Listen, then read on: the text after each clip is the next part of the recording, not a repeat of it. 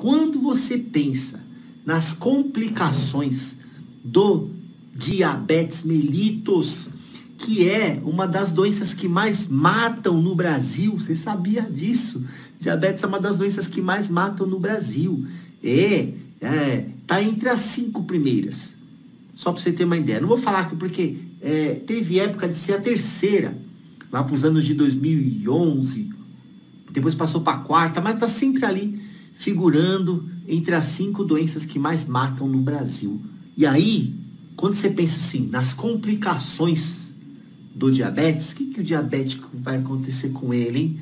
Quais são as complicações do diabético? Será que o diabético ele tem aquilo de perder a sensibilidade?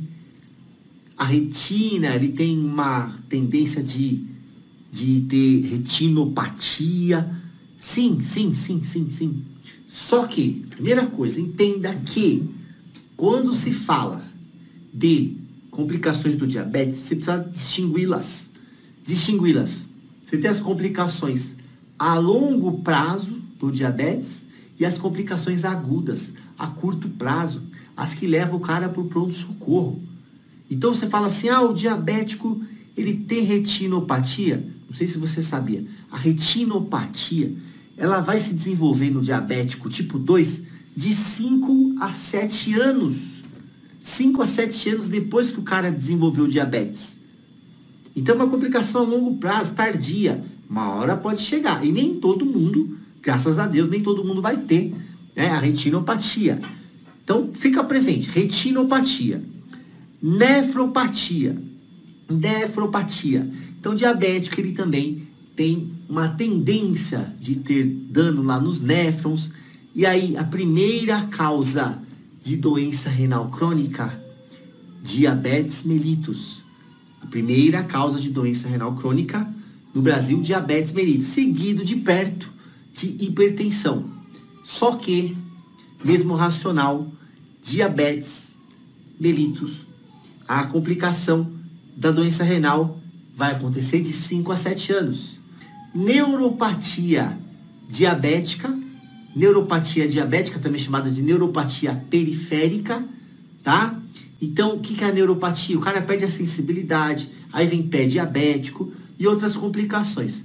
Só que o cara desenvolve neuropatia, que ele perde a sensibilidade. Você faz o teste lá do monofilamento no pé dele, 5 a 7 anos. São complicações tardias do diabético. Qual que foi o meu objetivo aqui de falar com você? Hoje eu quero que você fique presente que existem as complicações agudas do diabetes. A gente pode até falar assim, as complicações crônicas, essas tardias que eu falei, retinopatia, nefropatia e neuropatia.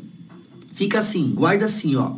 São as complicações crônicas. Crônicas, 5 a 7 anos, tardias. E as complicações agudas, agudas, que vão levar esse cara para o pronto-socorro, para UTI, a internação lá na sua clínica, onde você vai trabalhar. Por isso que você precisa manjar. Então, a curto prazo, qual que é a complicação que vai levar o diabético por pronto-socorro? A primeira, a primeira complicação aguda, a curto prazo, que leva o diabético para pronto-socorro é hipoglicemia. Hipoglicemia. É, dá para fazer uma aula. Posso fazer uma aula até.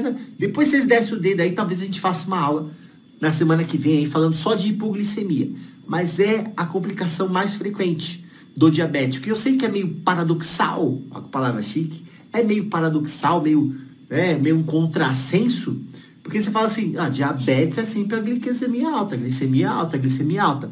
Pois é, mas o cara faz um tratamento com insulina, o cara faz o um tratamento com a insulina, aí ele descompensa. E aí ele faz hipoglicemia. É a complicação mais frequente do diabetes, que é a mais perigosa. Hipoglicemia é pior do que a hiper. É pior do que a hiper. Quer dizer, as duas elas queixam, né? Mas se o cara faz uma hipoglicemia severa, lascou. Terça-feira que vem, vamos pensar, não sei se vocês me falam aí. Eu faço uma live sobre hipoglicemia, se vocês descerem o dedo, que é um bom tema. Se você falar que vai vir comigo, terça-feira que vem eu faço uma só de hipoglicemia. Por quê?